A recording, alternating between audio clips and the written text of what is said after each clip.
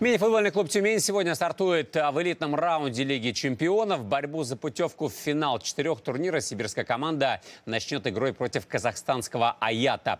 Прямую трансляцию смотрите на канале «Матч Страна». Начало в 16.55. Еще один представитель России в этом турнире КПРФ одержал вторую победу на элитном раунде. А команда Бейск Заидзе в упорной борьбе переиграла бельгийский Халле Гоик.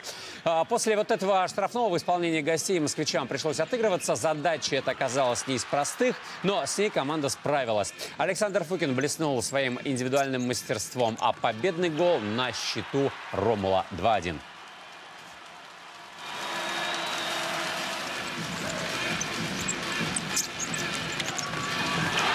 Сегодня день отдыха, а путевку в финал четырех коммунисты разыграют завтра со славянским клубом «Добовец» в прямом эфире Матч ТВ. Мы сыграли хорошую игру, мы сыграли сложную игру, по счету проигрывали, продолжили гнуть свою линию в плане системы игры, ничего не поменяли, потому что мы знали, что это принесет результат, и забитые мячи как раз э, доказательство того, что наше давление на соперника все-таки по счету отразилось. Да? Два мяча мы забили и вышли вперед.